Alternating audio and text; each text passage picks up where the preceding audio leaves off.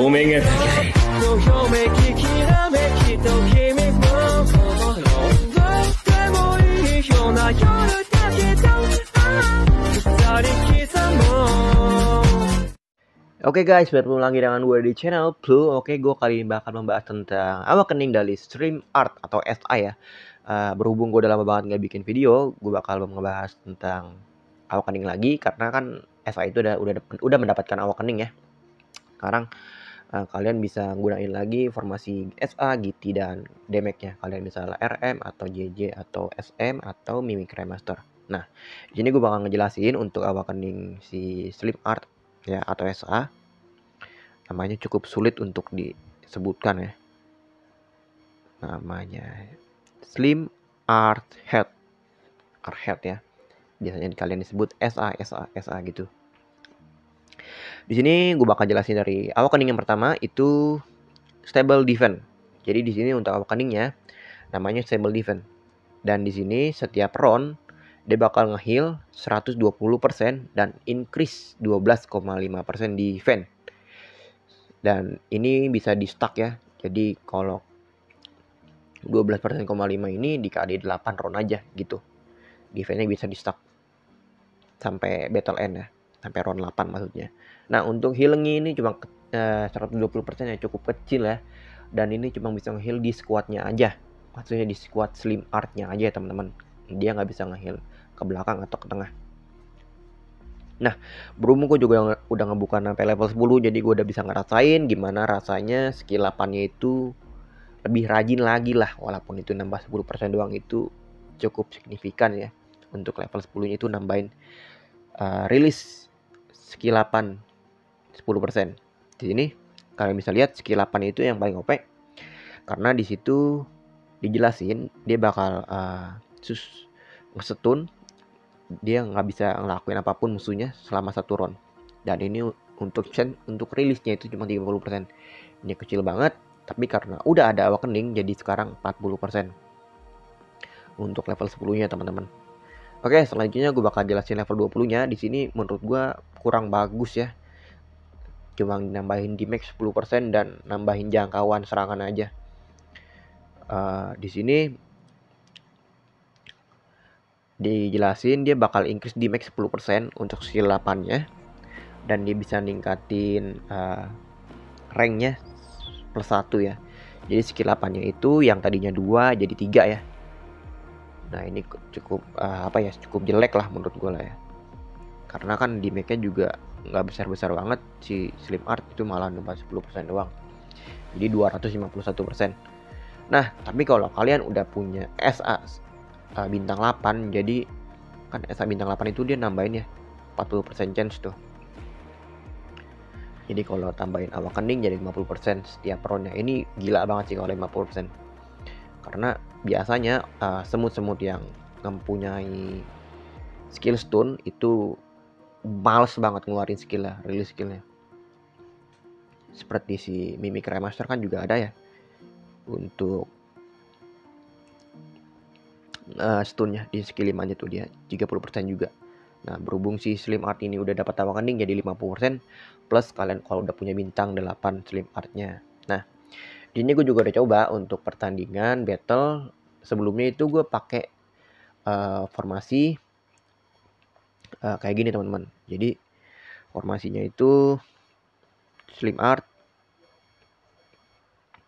uh, GT dan SM. Nah ini berhubung gua karir, gue kasih contoh yang karir aja. Ini juga biasanya bisa dipakai untuk semua uh, tipe ya. Kalau kalian punya shooter, guardian atau carrier, ya.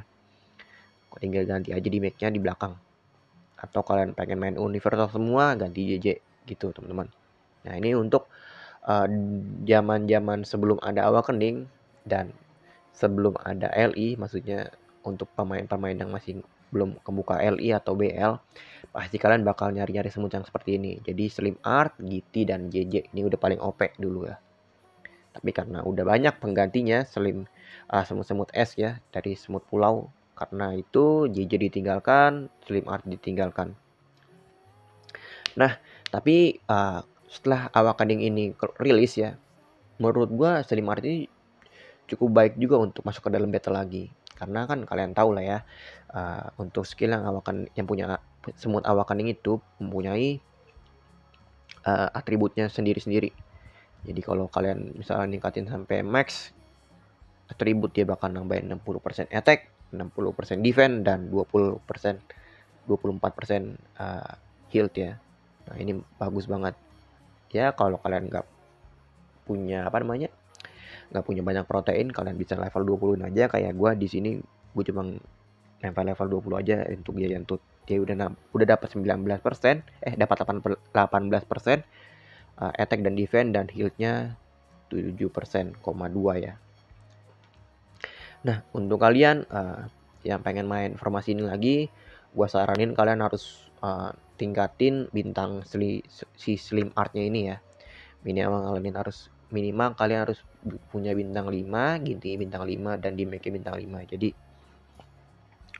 semakin lama si slim art ini mati jadi dia bakal bisa heal terus untuk uh, squadnya dia. Nah ini gue juga udah coba untuk battle ya. Tadi gue udah nyerang tambang gue pakai slim art ya. Untuk musuh gue itu kayak gini GT RM WB GT RM WB ya. WB nya bintang 4, GT bintang 4 dan RM-nya bintang 7. Nah, di sini berhubung si musuh gue ini kalah atribut karena kan darah gue gue fokus ke darah ya karena kan gue main dua tank. Jadi gue fokus ke darah darah gue mencapai 360 360 persen lah ya 365 persen tuh nah musuhnya cuma dapat darah itu 269 jadi untuk bertahannya itu lebih banyak di gua 78.000 survive di akhir battle. Makanya itu gue menang. Nah, untuk insect talentnya gue pakai begini teman-teman. Jadi di sini gue insect talentnya gue kayak gini. Jadi gue ngambil darah di sini, ngambil darah juga di sini, gue ngambil darah juga di sebelah sini dan ngambil darah di sebelah sini. Jadi gue fokusin ke darah, bener-bener ke darah. Semuanya ke darah dan gue nggak nggak ngambil combat speed nggak ngambil defense skill defense. Kalian nggak bisa lihat talentnya? Jadi fokus fokusin semua ke darah.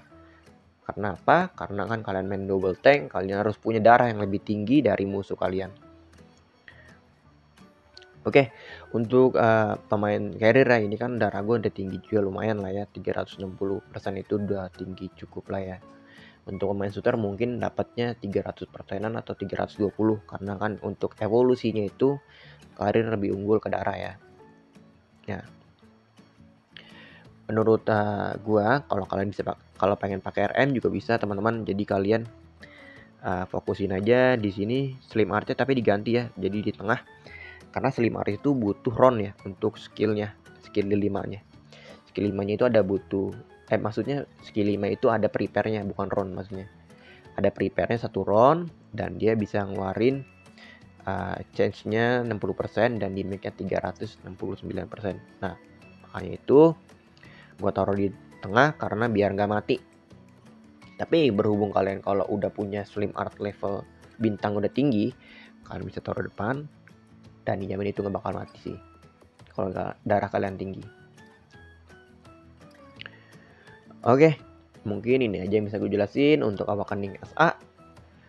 Kalau banyak-banyak yang masih belum dimengerti, belum dimengerti, kalian bisa tanyakan di kolom komentar. Terima kasih dan bye-bye. これが俺の最高地点だ